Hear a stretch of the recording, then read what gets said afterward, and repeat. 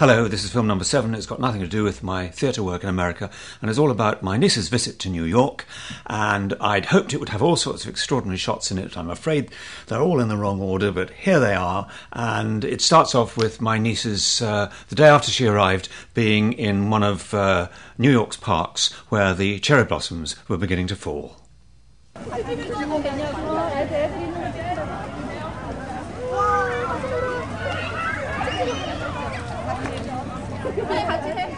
Well, now I'm going to address uh, myself to uh, you, uh, my niece, uh, for the rest of this little film, as it's really made for you to watch.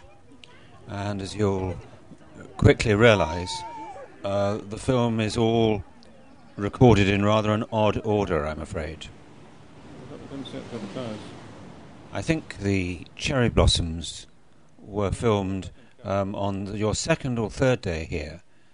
But here we are, in fact, on one of the last evenings uh, in my street, uh, looking up at the Empire State Building, which on the, the second evening, in fact, you may remember we, um, we went over the road to a sort of absolutely typical American diner, and uh, we were talking then about your plans for the week. And I just include this bit of film of a yellow cab here to swing us round to the the diner, which you may remember we went to fairly late at night when you must have been fairly jet lagged still.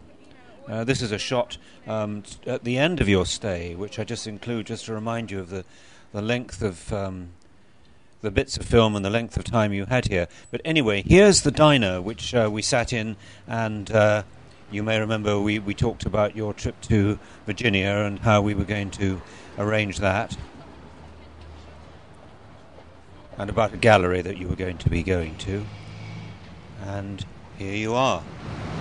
Well, I mean, one of them, and this is just a thought, and this was relevant to the relationship side, was of balancing your side. Zero is the unmanifest, yeah? Uh, you'll have realised now that uh, this film isn't going to have many dramatic you know, moments in it. A very badly lit uh, yellow cab on Yellow. uh, what? It's yellow. Actually, it's borderline beige today.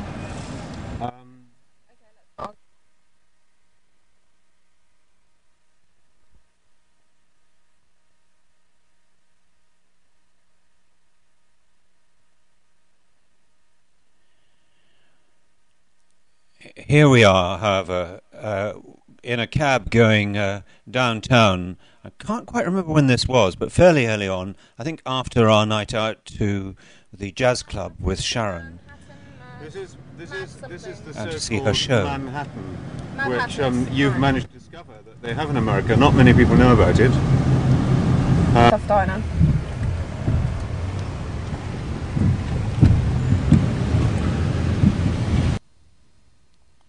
here we are back at my place after you'd come back from West Virginia. Mm. Sitting down and just being, just, just, just seeing just beautiful landscapes. Really, I drank with her. We had some food. Uh, both her friends came to pick me up, which was really, really lovely of them. And uh, we went back and um, met all the horses and had a walk down by the stream and through the woods. And um, It doesn't sound bad. no, it's would change your perception of it as well. Like subtleties like that Um, well, wherever you are, it just have a, a slightly different flavour. You know, of, you know, it could be the same genre of tree.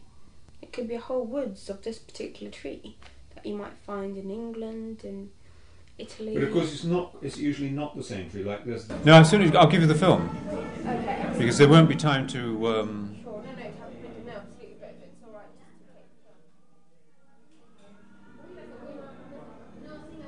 I'll try one more go. Now I'm going to pan from that picture there back to you. You very much indeed. That's great. Got it. Thank you.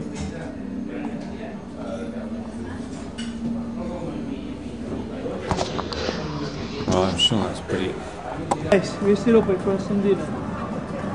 Ho già mangiato. Già mangiato? È italiano? Eh, troppo. Dove sei? Where are you from? È la famiglia da Napoli. Da Napoli, lo, lo. Giovanna Fornelli, Napoli. Ah, ok, bello. Eh, già stasera, se no... Beh, io, io vado a... Sì, grazie. Ora? Ah, ok.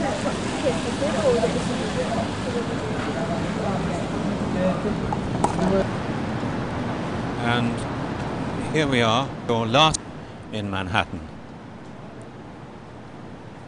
Uh, with me once again showing off uh, the Empire State Building as though I owned it, but it's just been such a part of my home Don't- don't- since I moved to America. Everywhere I've lived, there's been a view of it from my windows, and uh, I just so wanted you to be a part of that as well. And we're now looking at the Statue of Liberty, Statue of Liberty, which um, which has got some dubious mythology surrounding it due to exactly why the French gave it to the America. Oh, tell me, I- I've forgotten about that. What was it? Um,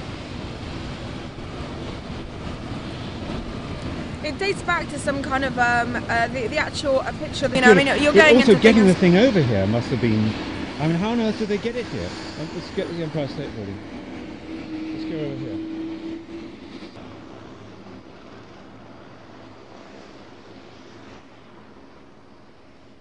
Know there was a huge thing because when it came, I mean, I can't remember what year of whatever it came, but they didn't exactly have a, a big boat. And it came in bits or something. I know it was a huge. But I mean, it's you know, it's quite a heavy thing to call it, you know, the Statue of Liberty. And um, okay. Well, this film was actually supposed to start with me arriving monumentally at the airport. We had a bit of trouble, so this film is actually starting here at the quasi end. So here we are in Little Italy. Except we're not in Little Italy, but this would be just the voice thing over it. So when there's film of you walking down the road in Little Italy, Ah, you know, I you can say okay, and here we are in Little Italy. schism within our family. Isms? Oh, well, I'm American, so I would say schism. Well, how do you how would you pronounce it? What is schism? It's like a schism. It's S C H I S M. Okay, A well, split. thanks for the clarification. A schism. Oh, right, okay. Kind of like what? Split within a uh, femtosecond. Well, you, you know, you could you know you, you get a paper schism when you cut your finger on it. Speaking of which, okay. Now, one thing.